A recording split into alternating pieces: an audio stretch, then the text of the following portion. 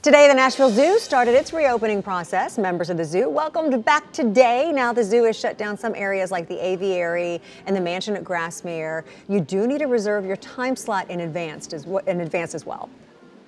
If you're going to come out to the zoo, um, you need to get your tickets in advance because we're doing timed entry and we're only letting certain people in, a certain amount of people in for each half hour.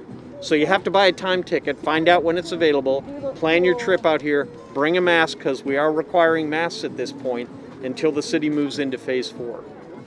The zoo opens to the general public Thursday. For information on where to reserve your ticket, just head to our app.